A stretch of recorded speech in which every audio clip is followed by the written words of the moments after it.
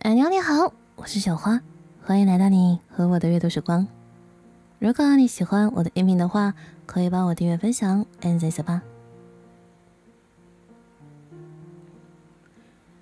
今天要和大家分享的文章名字叫《有一种修养叫不说》，作者不是所有的书都叫北书。作家海明威曾说：“我们花了两年时间学会说话。”却要花上六十年来学会闭嘴，深以为然。会说话是一种本事，学会不说，则是一个人深到骨子里的修养，也是一个人收敛锋芒的善良。很多时候，面对一些事和人，我们选择不说，并不代表懦弱，而是为了减少矛盾；我们选择沉默，不代表理亏，而是为了远离是非。说是一种表达，不说是一种表态。相信清者自清，时间会还原真相。格言联璧中有一句至理名言：“静坐常思己过，闲谈莫论人非。”世界之大，从不缺发表意见之人，缺的是不随意评价他人的善良和涵养。知人不评人，是与人交往时的一份尊重，一份自律。记得在一部电影中，有个心情沮丧的女孩在公交车上没有给一位老大爷让座而发生了争执，这一幕被记者拍到，做成了新闻。女孩因此遭受了千万网友的嘲讽和辱骂，她丢了工作，失了朋友，成了人人喊打的过街老鼠，再怎么道歉都于事无补。后来，女孩不堪舆论重负自杀了。他们不知道，是女孩没有让座的那天被查出了癌症晚期，她一直沉浸于悲伤无法自拔。很多时候，作为旁观者，我们无法做到真正的感同身受。他一直沉浸于悲伤，无法自拔，更无法看到所有的真相。但至少我们可以选择沉默，保持善良。人生辛苦，人人都在负重前行。有时候，你一句不正当的评议，可能会成为压死骆驼的最后一根稻草，给他人带来无法预估的伤害。看不清别人的生活，读不懂别人的人生，就不要轻易评价指责，不要妄加揣测议论。不说是给别人留一份尊重，也给自己留三分口德。你一定在工作生活中遇到过这样一类人，总是不分时间和场合的说些让人心塞和添堵的话。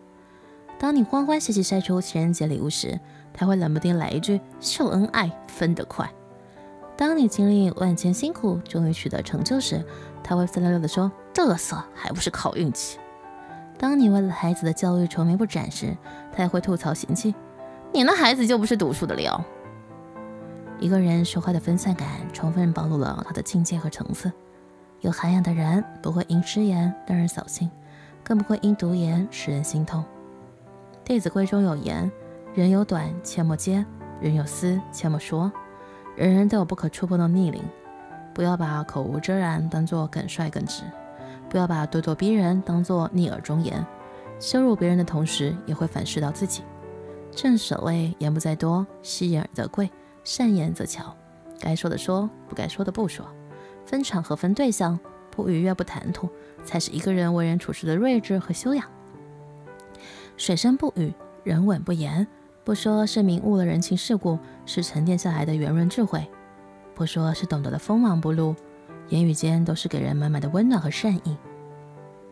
在《增广贤文》有云：“两眼一句三冬暖。”恶语伤人六月寒，生而为人，个人有个人的困顿和欢喜，晦涩和皎洁。有时候温言善语体谅别人，有时成全自己。作家贾平凹曾写过一个故事：一位有口吃的路人前来问路，恰好指路的人也是个结巴，于是指路人在整个过程中没说一句话，只是用手比划。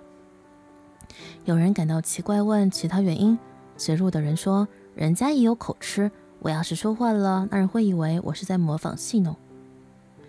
与人为善的理解，推己及人的周到，是一份不可多得的善良。我们从一个人的沉默不语中，也可以看出他高尚的品格以及高层次的修养。就像张爱玲说的：“因为懂得，所以慈悲。”当我们能够深入感受到对方的难堪，能够发自内心去照顾他人的情绪，能够用欣赏的眼光看到别人的优点，不妄言，不失言，不多言。就是将善待他人的根植于心。人生苦短，希望我们都能保持善良，理性开口，适时沉默，少一些自以为是的言论，多一些以心独行的温暖。真正有修养的人都明白自己沉默自有其力量。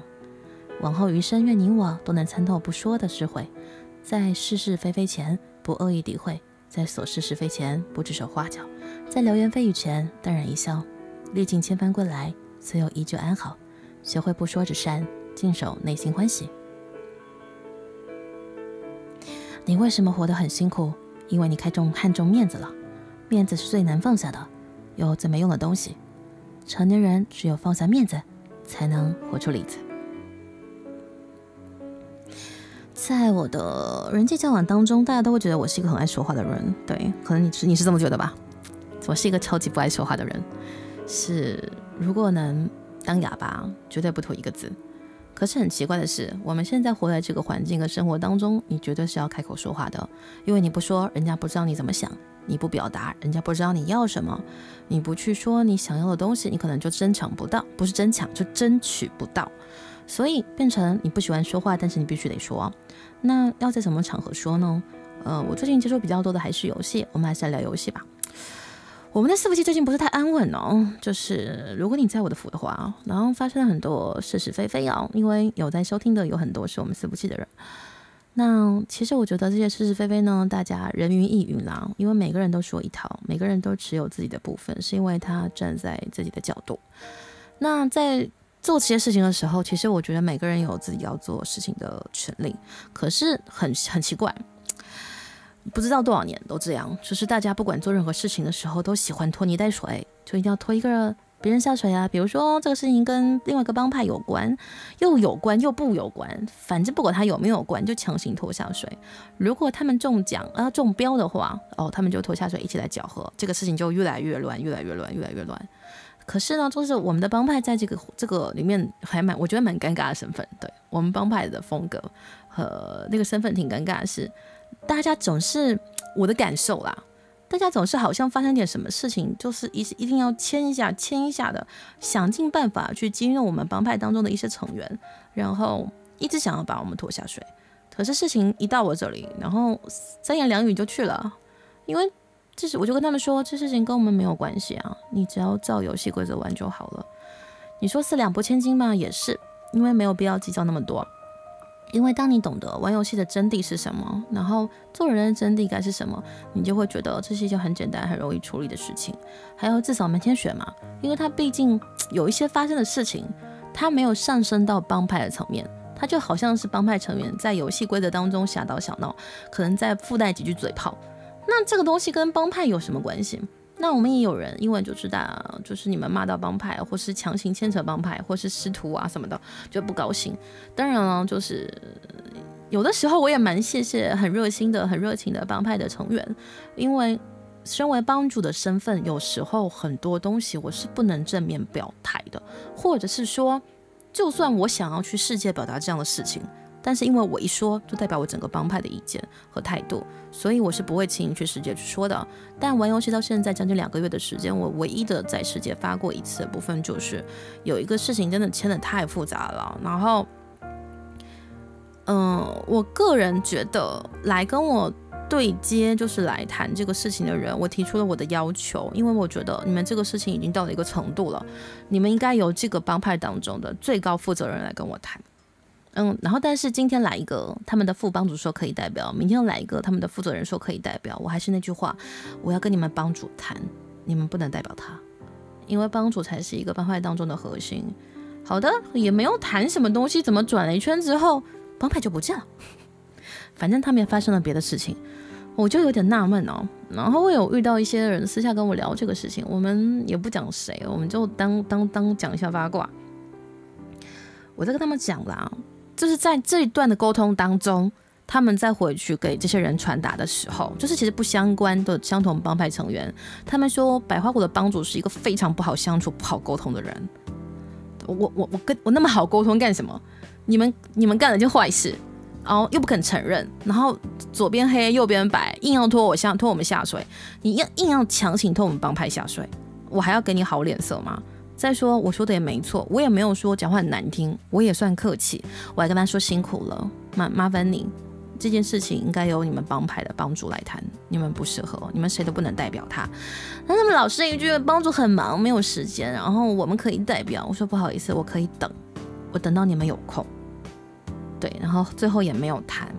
他们找了一个受害者，就是我们帮派的有有遇到一些矛盾的人，然后受害者，然后受害者就是接受了他们的道歉，然后他们还想要集体跟我道歉，就是还想要拉个群什么的，我就说不用拉个群啊，跟我没关系啊，你是受害者，我又不是，我只是要处理帮派之间的间隙问题，你们出现的这些问题问题，他们跟我道歉是要干嘛？